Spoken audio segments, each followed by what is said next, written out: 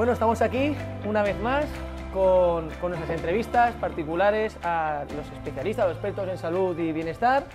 Y hoy contamos con la presencia, con la visita aquí en Te Cocina, al plató de Te Cocina TV, de Juan Zaragoza.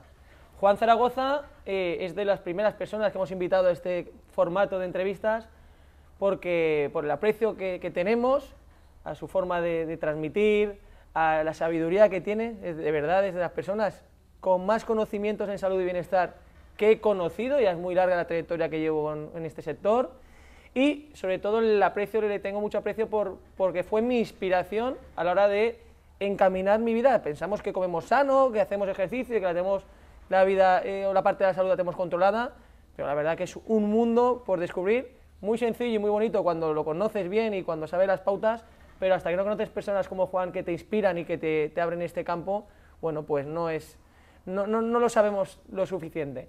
Entonces, en este caso, Juan Zaragoza es coach en salud, ingeniero aeroespacial, no tiene nada que ver con lo que vas a trabajar hoy, pero bueno, para que veáis el nivel de conocimientos que tiene esta persona.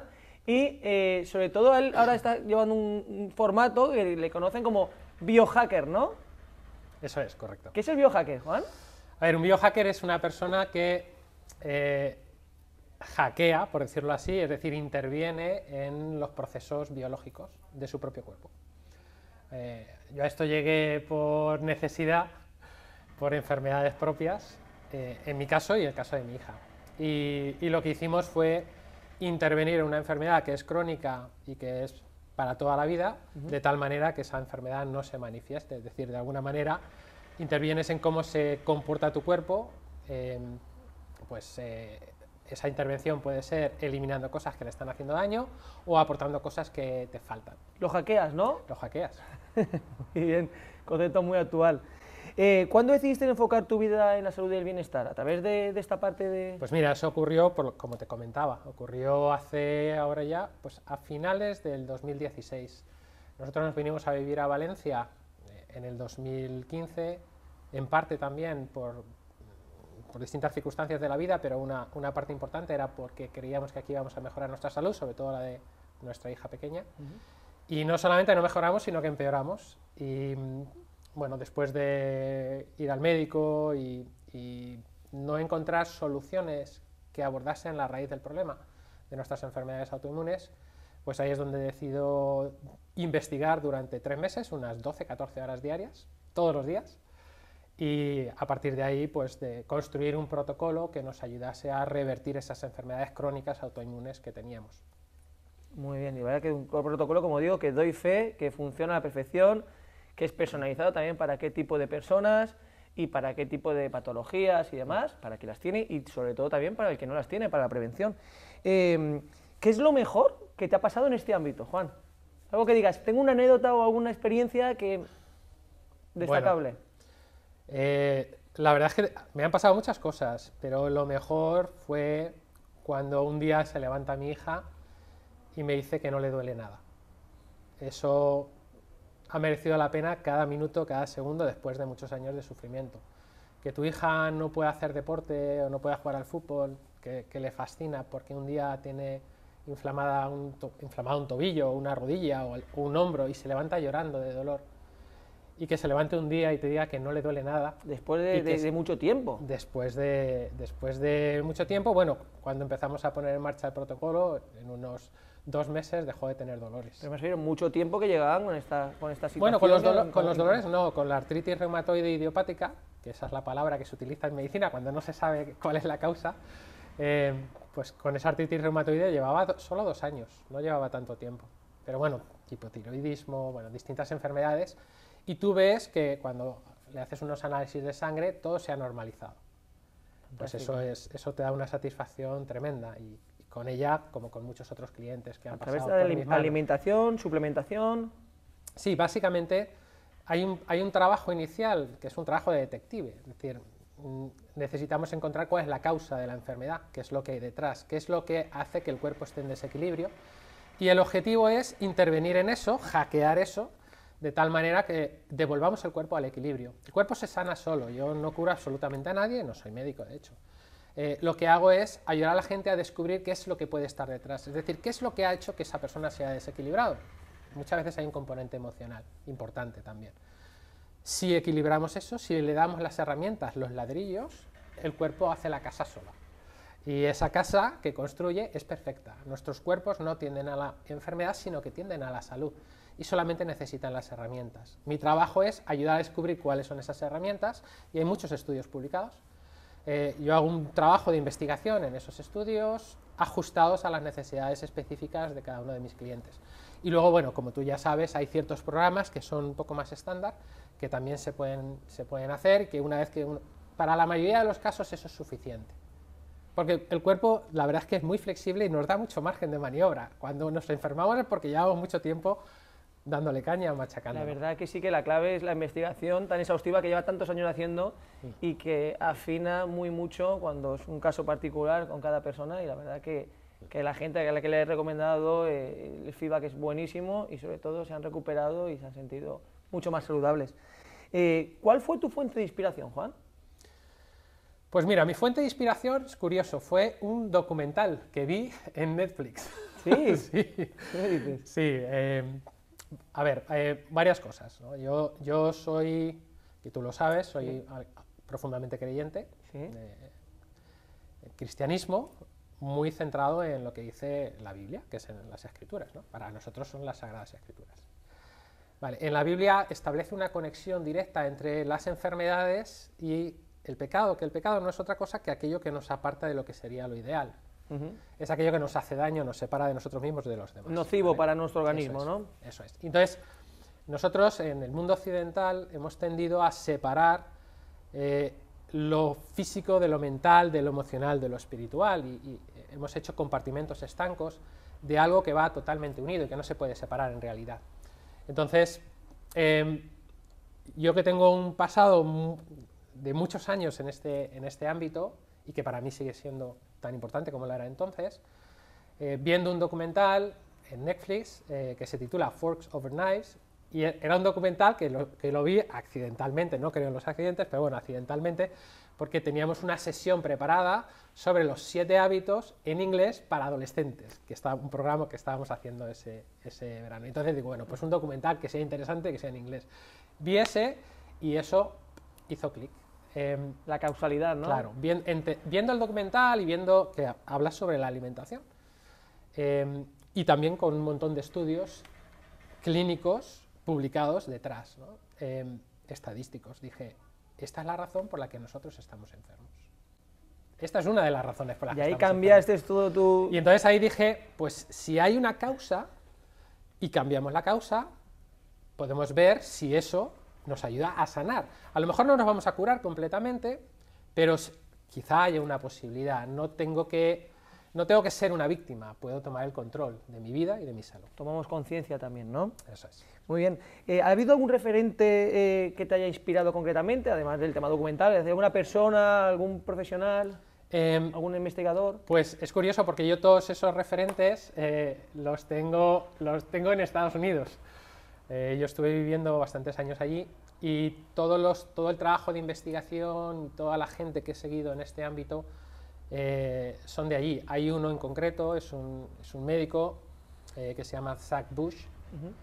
Em, este señor tiene tres especialidades en medicina, es uno de los pocos médicos en Estados Unidos que tiene tres especialidades, que estuvo dedicándose durante mucho tiempo a la investigación en oncología y que en un momento dado en su vida también tuvo esa epifanía, por decirlo así, ese cambio donde se da cuenta que, lo que está haciendo no ayuda a sus pacientes, sino que, les está quizá en algunos casos incluso haciendo más daño. Y, entonces empieza a buscar el origen de las patologías, qué es lo que hay detrás y qué es lo que necesitamos cambiar.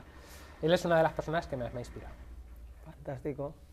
Luego, eh, si pudieras, eh, una pregunta ya un poquito ya más, le damos este concepto de preguntas, algunas pues, muy interesantes, más profundas, mm. y otras le damos un, toque más, más fresco, ¿no? más divertido y también que descolocamos un poquito también aquí al entrevistado. Una pregunta es, si pudieras ser otra persona por un día, ¿a quién elegirías?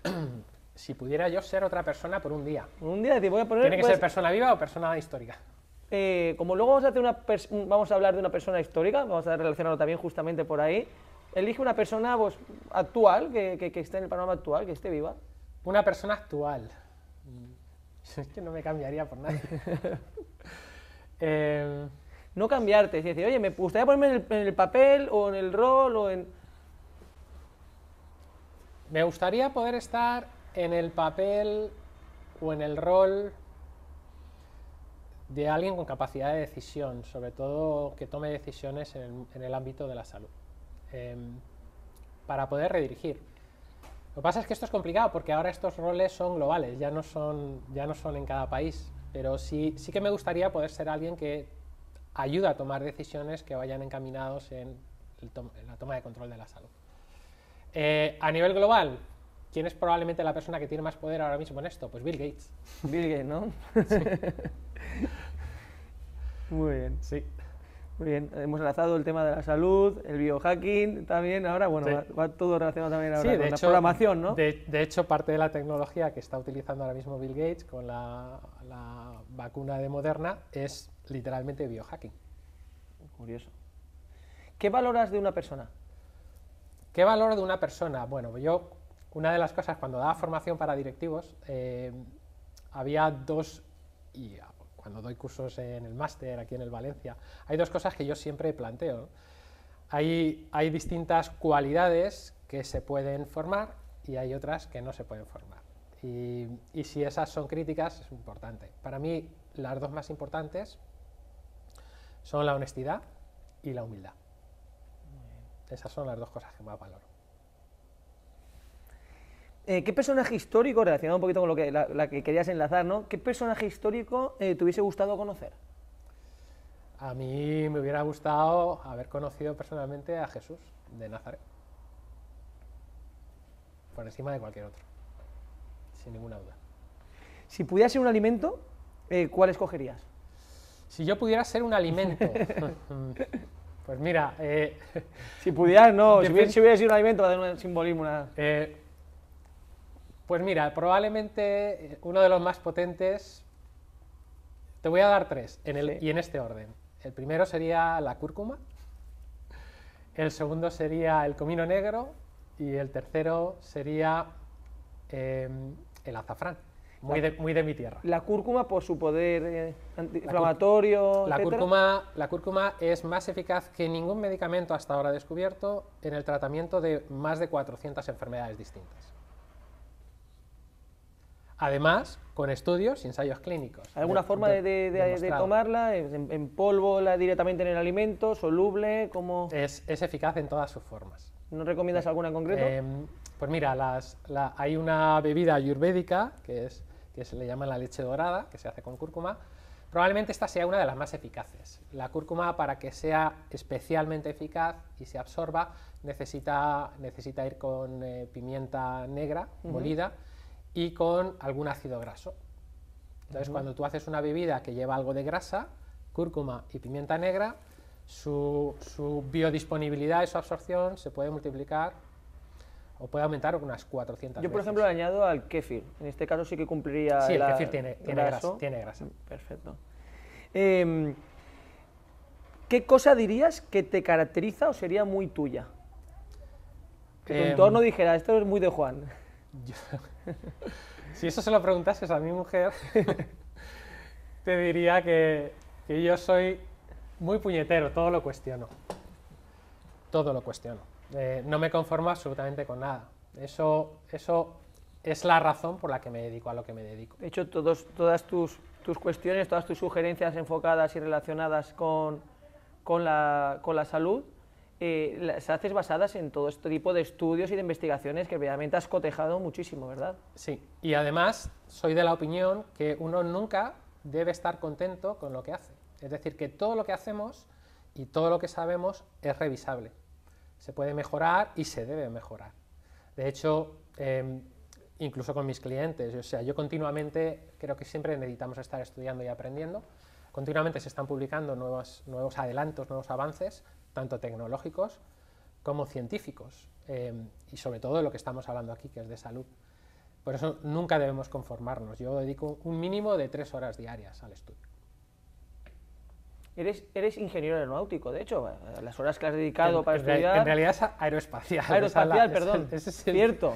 Sí, Cierto, pero bueno. cierto. Aeroespacial. eh, Sí, estudié, le dediqué muchas horas a estudiar, eso es una etapa de mi vida, que no me importa contarlo, es una etapa de mi vida, de hecho yo terminé la carrera como junto con otro compañero, primero de promoción, eh, con título summa cum laude, con un, con un 9, era un 9 con 98 de media. nada, casi nada. Eh, pero eso no lo considero algo, hasta hace nada, es algo de lo que yo no estaba orgulloso, porque, porque para mí eso fue una patología. Em, un patrón de estándares despiadados y, bueno, perfeccionismo. Em, eso no lo disfruté. Todo lo que he hecho después, lo que sí he sacado de muy bueno de, esa etapa de mi vida estudiando ingeniería, es toda la metodología. Es cómo estructurar la mente, es cómo analizar los problemas, cómo buscar soluciones para los problemas. Y eso me ha servido para todo lo demás que he hecho, desde, desde la formación para directivos y la consultoría para directivos y para las empresas del IBEX y altos cargos, eh, que eso he dedicado bastante tiempo, a lo que estoy haciendo ahora, que es ayudar a la gente a tomar el control de su salud, recuperarlo y recuperar la salud, no solamente con un objetivo, que esto es una de las cosas que yo siempre digo, para mí lo que es importante es que mis clientes sepan lo que hacen, sepan por qué lo hacen y sepan cuál es el resultado, de tal manera que no dependan de mí. Me gusta mucho ese concepto, recuerdo cuando hace 3, 4 años me diste las directrices, al final lo que pretendías es que cada uno sepa qué hacer, cómo manejarse y demás. Es decir, no le das el pescado, sino le enseñas a pescar, ¿no? Y, la verdad que en este caso, a mí, como digo, recalco, me fue de cine y, bueno, me hace mucha ilusión tenerte hoy aquí. Enlazaba la pregunta de los estudios tuyos, porque hay unas preguntas que hacemos, son preguntas estándares, siempre hacemos a los invitados las mismas preguntas, las mismas 21 preguntas.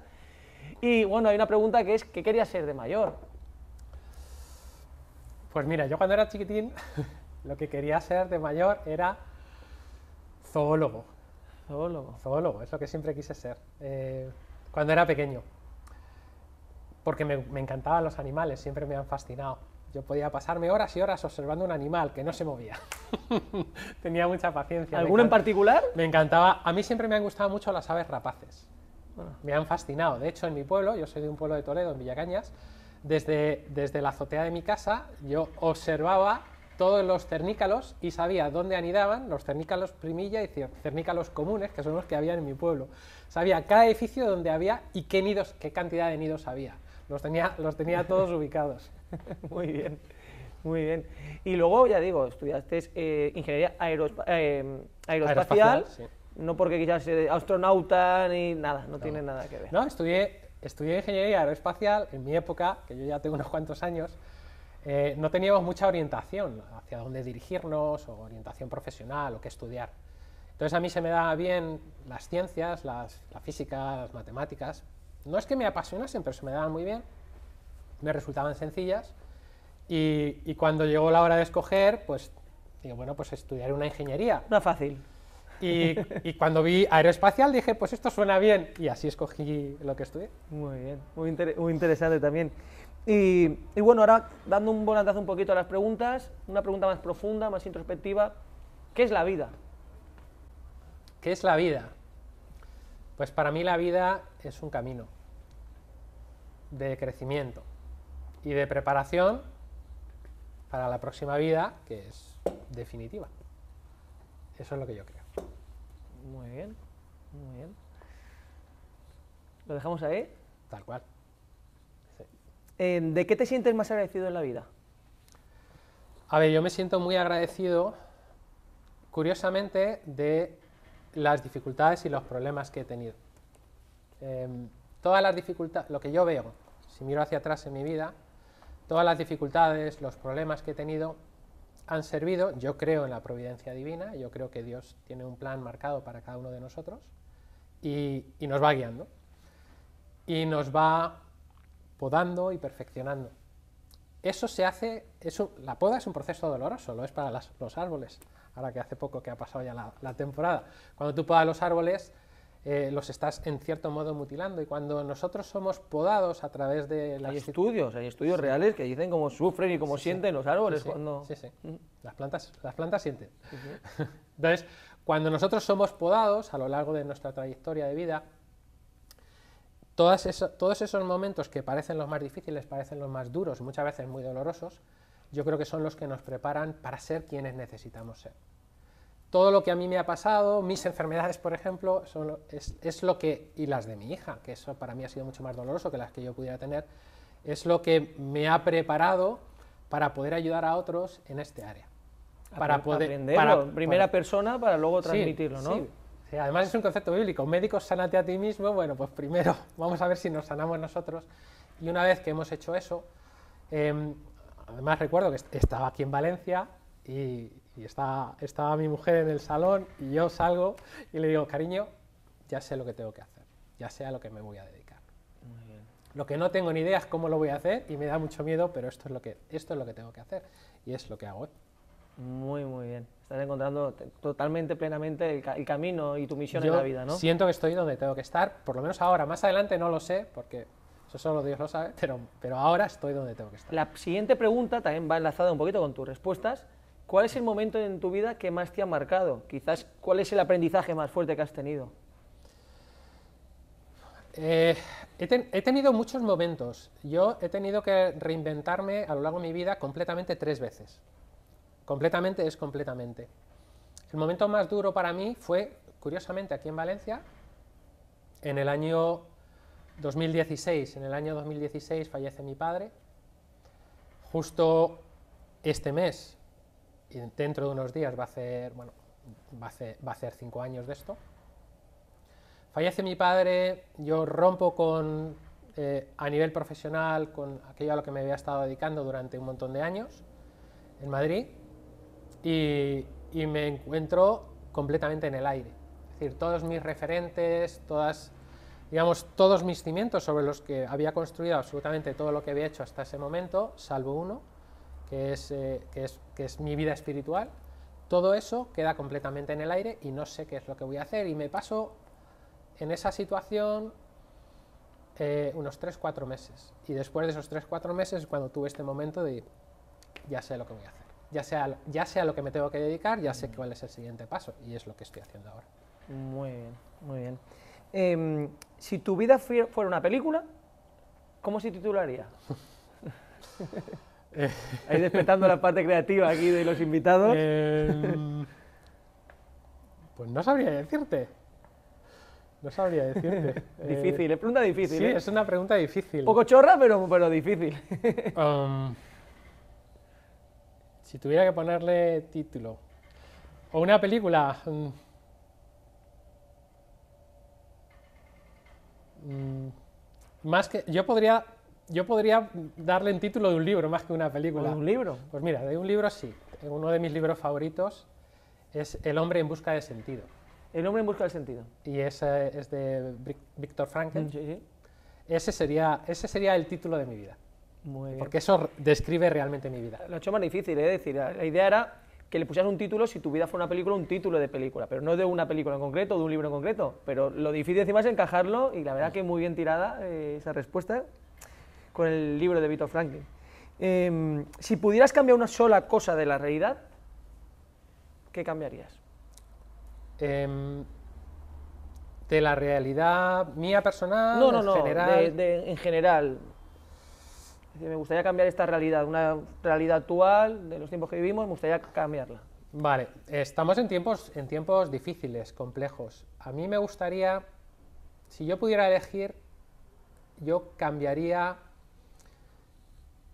la capacidad del ser humano de hacer autocrítica y de poder integrarse mejor en el entorno.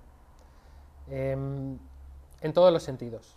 Es decir, de poder entender cuál es nuestro papel, cuál es nuestro sitio en el entorno, mm, en la naturaleza, en el ecosistema, pero en todos los ámbitos, como hablábamos antes, a nivel físico, mental, emocional y espiritual. Hablábamos antes precisamente que, que justamente con el proyecto de Te Cocina, con la parte de salud y bienestar, hemos desarrollado una línea que le llamamos Universidad de la Vida, que toca justamente estas áreas para dar unas pequeñas pautas, para inspirar, para, para marcar un poquito los primeros pasos para que la gente pues, tenga esa autoconciencia y las herramientas para estar bien con uno mismo, con su mundo interior y con el, con el mundo que nos rodea. ¿no? Primero estar bien con uno mismo para luego poder también Sí. mejorar el mundo, ¿no? Así que, la verdad, por eso estamos aquí y por eso pues, nos une una amistad de estos años y, colaboramos en tantos proyectos juntos, Juan. Muy bien. Eh, ¿Qué pautas debería seguir una persona para alcanzar la longevidad en la vida? Eh, vale, yo vaya por delante que es importante, es importante no añadir años a la vida, sino vida a los años. Muy bien. Esto es lo más importante. De, nada me sirve vivir 100 años si esos años no los, no los vivo en condiciones. Por otra parte, la ciencia nos dice que una persona que llega a los 95 años ha tenido que cumplir con ciertas, con ciertas condiciones, si no, no llegamos. Si no, a los 80 y poco, eh, la mayoría de nosotros morimos después de unos años de mucha enfermedad, de enfermedades crónicas generalmente. Si queremos llegar, si queremos llegar lejos, para mí lo más importante, tú me dices, una cosa, la más importante para, vivir sanos y vivir mucho tiempo es ser felices. Ser feliz. Es, es que nuestra vida tenga sentido. Y sobre todo estar rodeado de personas que nos aman y a las que amamos profundamente. Esa probablemente sea la recomendación más importante, con mucha diferencia. Muy buen titular. Sí que no nos dejes así. ¿Qué, pautas tiene que cumplir una persona que para pasar de los 90 años? ¿Qué pautas necesita cumplir? Bueno, pues eh, sus telómeros tienen que ser largos. vale, los telómeros son los que es la, terminación de los cromosomas, es lo que determina cuántas veces se van a dividir nuestras células. Cuando nuestras células dejan de dividirse, nuestro cuerpo se muere, literalmente. ¿Es genético podemos influir, influir en ello? Eh, nosotros podemos influir en ello. De hecho, de hecho eh, hay distintas maneras de influir en ello, pero hay, hay, muchas cosas que dañan nuestros telómeros y hay, hay un montón de cosas que dañan nuestros, nuestros nuestras células. Em, por ejemplo, la inflamación. Y la inflamación tiene mucho que ver con nuestros hábitos. Por ejemplo, no descansar bien. Si una persona quiere vivir muchos años, tiene que dormir a las horas que toca dormir, que es cuando es de noche, respetando los ritmos circadianos, y dormir profundamente. Ese probablemente sea una de, de las cosas más importantes que podemos hacer, porque hay que regenerar el cuerpo. El cuerpo se regenera durante la noche el cuerpo no se regenera si estamos haciendo la digestión. Eso significa que no deberíamos comer las tres horas antes de acostarnos, por lo menos esas tres horas no deberíamos comer nada. Eh, otro, otro de esos hábitos que es muy bueno y que tú lo sabes porque yo lo hablo siempre es el ayuno. Y hay muchas formas de ayuno, pero en cualquiera de sus formas el ayuno es fabuloso porque lo que estamos haciendo es parar la fábrica y dejar que el cuerpo repare lo que está dañado. No puedes estar fabricando y reparando las máquinas al mismo tiempo. Y el cuerpo necesita ese tiempo. Esa pausa para, poder repararse. Cada día y luego cada X tiempo un periodo un poquito más prolongado para hacer una reparación más a fondo, más profunda. Eso reduce la inflamación, reduce la resistencia a la insulina, em, se producen procesos de autofagia y mitofagia, nuestras células producen más y mejor energía y viven más tiempo. Las células se van muriendo generalmente porque las mitocondrias, que son esas factorías, son esas pequeñas bacterias que viven en simbiosis con nosotros, producen energía, pero si esas mitocondrias no están sanas, la célula se muere. Son las mitocondrias las que deciden cuándo la célula se suicida. Eso se llama apoptosis. necesitamos cuidar nuestras mitocondrias, que tienen un código genético que no es nuestro, que viven en cada una de nuestras células y que en gran, en gran medida nuestra salud y no desarrollar enfermedades crónicas depende de ellas. Entonces, el descanso, la alimentación, el, no inflamarnos, el ejercicio físico, todo en su justa medida, porque muchas veces tenemos, eh, cometemos el error de pensar que si una cosa en pequeña cantidad es buena, en mucha cantidad es mejor. No, todo necesita un equilibrio. No dormir no es bueno, dormir demasiado tampoco lo es. Eh, el ejercicio en su justa medida, no hacer ejercicio, no tener actividad física no es bueno, pero hacer exceso de ejercicio también nos inflama. Y eso recorta nuestra vida y seguramente muramos bastantes años antes, con lesiones que no se han regenerado, que no se han recuperado, porque no le hemos, no le hemos dado tiempo al cuerpo. Y sobre todo alimentarnos y eliminar todo aquello que nos genere estrés. Eh, el cuerpo no distingue la fuente del estrés, el estrés puede ser físico, mental, emocional o incluso espiritual, cuando nosotros no estamos alineados con nuestros propios valores, con aquellas cosas que sabemos, con nuestros principios, aquellas cosas que sabemos que están bien y que están mal. Entonces, todo eso deteriora el cuerpo y hay un deterioro físico. Por eso necesitamos cuidar todos estos ámbitos. Y ni es, ni es complejo ni es caro. De hecho, lo compartimos en uno de estos cursos, por lo menos las primeras píldoras, y vamos profundizando también en ello. os invitamos a seguirnos a través de la parte de, de talleres, la parte de bienestar de nuestra plataforma Entre Cocina para poder seguir y profundizar en estos consejos sencillos, que no son complejos, doy fe, ni, ni tampoco caros. Al final también, bueno, al final la, la mejor inversión ¿no? es en, en la prevención, en estas pautas, y, y que luego ya en la cura, en los tratamientos, que ahí sí que, que hablamos de otras cifras. Sí, pero, pero sí, al final es, es invertir en la salud para cuando llegues al final de tu vida, pues llegar en condiciones. Sembrar. Eso es. ¿Qué harías si, eh, ¿qué harías en, en el último día de tu vida? ¿Qué te gustaría hacer? ¿Con quién? ¿Compartirlo? ¿Qué hacer? ¿O qué? Eh, a ver, este es un tema que yo pienso bastante. Sí, sí, curiosamente. ¿Cómo no? Sí, eh, El pensador. yo, yo pienso, y esa- eso, eso es un pensamiento para mí muy recurrente, si hoy fuese el último día de mi vida, ¿qué haría? Entonces, para mí es importante que si es el último día de mi vida, si ahora mismo tú sabes que vas a morir, lo más importante es decirle a la gente que es importante en tu vida que les quieres y por qué. Y que sepan lo importante que son para ti. Mm, el último día de mi vida, que podría ser cualquiera, nadie sabemos cuándo nos vamos, eh, si está bien vivido, se ha vivido así, con las personas importantes, con las personas que amas y que lo sepan. Fantástico. Muy bien. Em, ¿Tienes miedo a morir?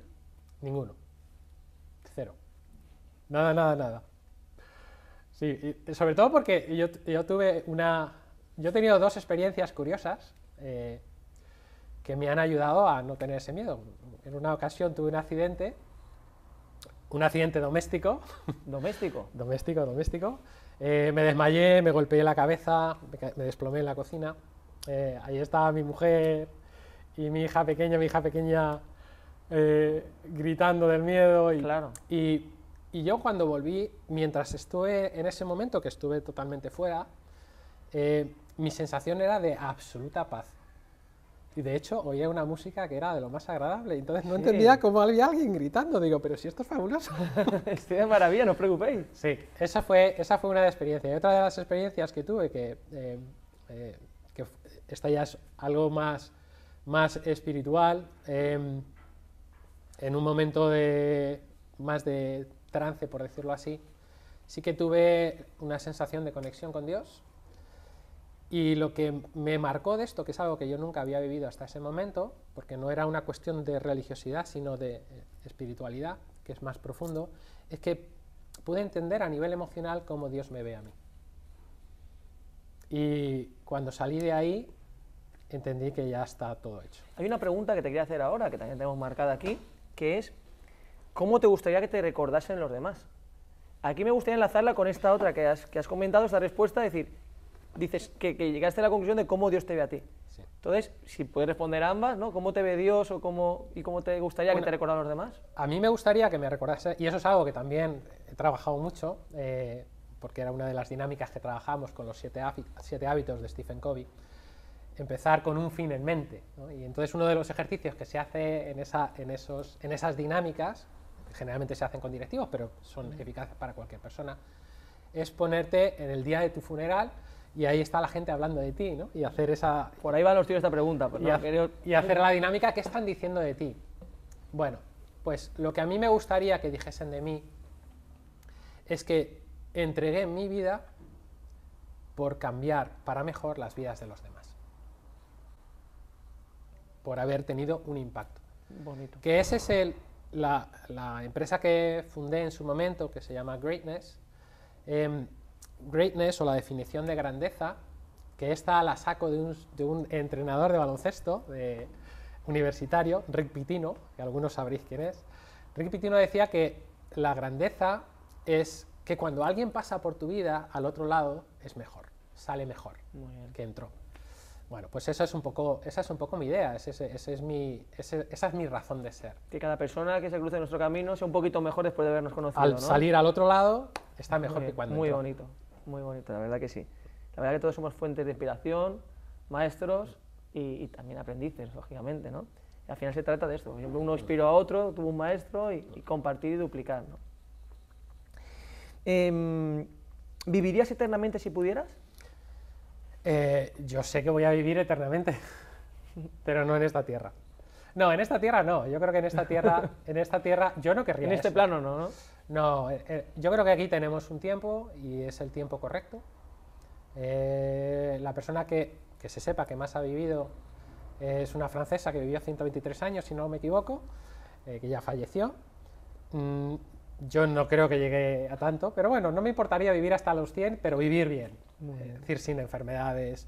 Lo que ocurría antes, ¿no? Se ha muerto de viejo, ¿no? Lo que se decía Sí, en sí, mi pueblo, sí, se ha muerto de viejo, pues esta semana estaba, no- estaba desganado, no quería comer y, y ¡pum! Te, te duermes y te vas. Porque, porque tu cuerpo ya ha cumplido con su misión, pero sin dolor, sin enfermedad. Y a mí me gustaría que la gente pudiera vivir una, una vida libre de esas, por lo menos de las enfermedades crónicas, y llegar a ese final de esa manera, rodeado de los suyos y hacer esa transición, que es una transición feliz, a diferencia de lo que nos han enseñado, nos han enseñado a vivir de espaldas a la muerte y tener miedo a la muerte. No, no hay que tener miedo a la muerte. Esa es una transición feliz y es una transición a algo mejor. Y eso es la eternidad. Muy bien. Y por último, la última pregunta, dice, dicen que la mejor manera de ser inmortal es enseñando, ¿no? Hablando justamente de maestros y aprendices. Compártenos una breve enseñanza con la que te gustaría ser recordado y así pues poder culminar también la, la entrevista. ¿De ¿Qué mensaje le darías a la gente que está siguiéndonos ahora desde casa? Un Eh, mensajito, un, un regalito, Bueno, yo una herencia tuya. A ver, yo mío no tengo, yo siempre digo lo mismo, mío no, mío no es nada o casi nada. Eh, yo, simple, yo voy haciendo un collage de todas las cosas que voy aprendiendo de, de mucha gente que es, que es infinitamente mejor que yo en todas estas áreas. Quizá lo que a mí se me da bien es precisamente eso, coger de unos y otros y poder unir algo que sirva y que sea útil. Em, Vale, si tengo que resumir, lo más importante en esta vida es estar, para mí, es estar alineados. Em, que, no que no estemos en conflicto con nosotros mismos. La mayoría de las enfermedades tienen un origen emocional, o mental, o espiritual. Y lo que a mí me gustaría es que la gente sea completamente libre. Es decir, yo- mi trabajo es ayudar a la gente a ser libre. Ser libre de cualquier cosa que lo esté esclavizando. Em, en ese sentido, creo que es importante que todos entendamos que podemos ser libres. De hecho, si, puedo, si me lo permites, si puedo citar, hay una escritura en el Evangelio de Juan, en el capítulo 8, donde dice, donde dice Jesús, y decía Jesús a, los, a sus discípulos, aquellos que habían creído en él, si, si permanecéis en mis palabras, verdaderamente seréis mis discípulos y conoceréis la verdad y la verdad os hará libres. Bueno, pues en ese libro, que yo es el- es el libro que más recomiendo porque es el que más ha cambiado mi vida, hay un montón de enseñanzas que te explican cómo precisamente ser libre, cómo conocerle a él y en, ese, y en permanecer en esa palabra, en esas enseñanzas, ser libre, incluso de salud, curiosamente. De hecho, la cúrcuma, el incienso y la mirra que yo utilizo mucho, es lo que le, es lo que le presentaron la cúrcuma o el oro, es lo que le presentaron, se cree que era cúrcuma, que eran todo especias, es lo que le presentaron a Jesús los magos de Oriente. Los maestros, ¿no? ¿sí? Muy bien. Ese fue el regalo que le hicieron, le hicieron un regalo de salud, literalmente. Eso es lo que a mí me gustaría. Bueno, pues recibido por parte de nuestro público, eh, independientemente de las creencias que se tenga, al final, eh, bueno, pues al final son sabidurías, palabras que, que- llegan. to- todos necesitamos ser libres. Y cuando uno está enfermo, se siente esclavo de esa enfermedad. Pues si yo tengo un dolor, no puedo pensar en otra cosa. O si yo, si vamos al médico y nos da un diagnóstico que es grave, le vamos a estar dando vueltas. Y al final, o si yo soy hipocondríaco, como era mi caso, que tenía miedo a tener enfermedades graves y, y- y que esto me afectase o morirme, o pues estás todo el día dándole vueltas a eso y eres esclavo de eso, eres esclavo de esa enfermedad, aunque no la tengas, puedes ser esclavo de ella perfectamente. Para mí lo más importante es que, es que la gente sea libre, que deje de tener miedo a esto. Pues vamos a seguir dándole pautas eh, y compartiendo con profesionales, expertos, sabios y maestros, como, como, el- como hoy tenemos aquí Bueno. con Juan Zaragoza, Sabio maestro no, pero aprendiz, y un gran, un gran aprendiz, ¿eh? un estudioso muy, muy profesional. y nada, para seguir teniendo pautas para sentirnos libres. Un saludo y bueno, esta ha sido la entrevista de hoy.